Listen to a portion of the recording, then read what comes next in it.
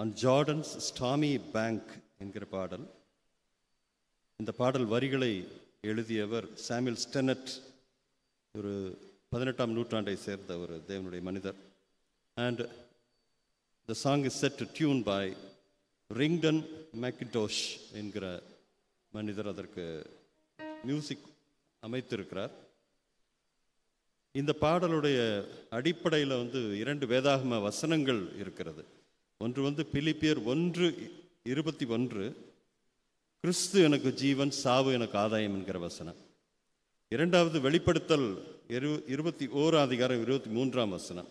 ஆட்டுக்குட்டியானவரே வெளிச்சமாக இருக்கிறாருங்கிற அந்த பதம். And it is a song that describes the eternal kingdom of God that a soul reaches after the earthly life என்கிறது. ஒரு பரலோக ராஜ்யத்தின் வாழ்வை குறித்த ஒரு பாடல். ஜார்டன் பேங்க்ஸ் அப்படி என்- என்கிற பதமும் கேனன்ஸ் ஃபேர்லேண்ட் என்கிற பதமும். இந்த யோர்தான் நதியை குறிக்கிற வார்த்தையாக இருந்தாலும் சரி கானான் என்கிற வார்த்தையாக இருந்தாலும் சரி அது லிட்ரலாக அங்கே பயன்படுத்தவில்லை. அது வந்து நம்முடைய அந்த ஜார்டன் அப்படிங்கிறது நம்முடைய வாழ்வின் இறுதி பகுதியை குறிப்பிடுகிறது.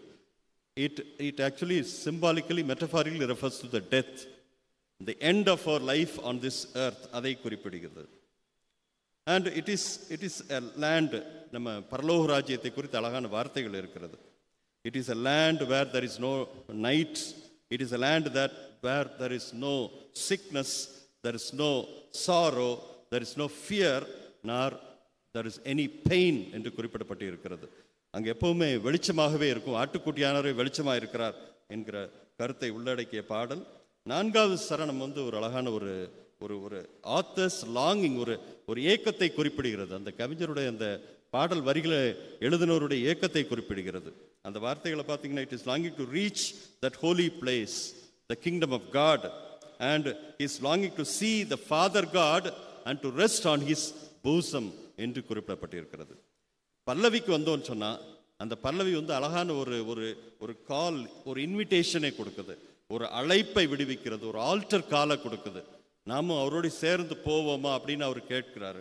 I am bound to I am I am I am bound to the promised land I am bound to the promised land will you all join me with the journey to the promise land என்பதாக அமைந்திருக்கிறது.